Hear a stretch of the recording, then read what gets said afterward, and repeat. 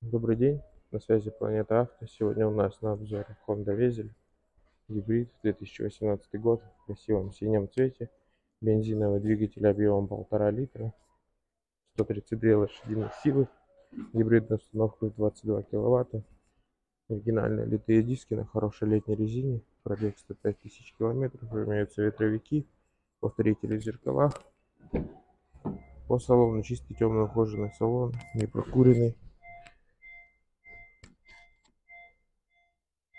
Электроручник, режим спорт, климат-контроль, кондиционер, хорошая мультимедиа, мультируль, круиз-контроль, подрулевые лепестки, режим эко, антиюз, электрорегулировка зеркал.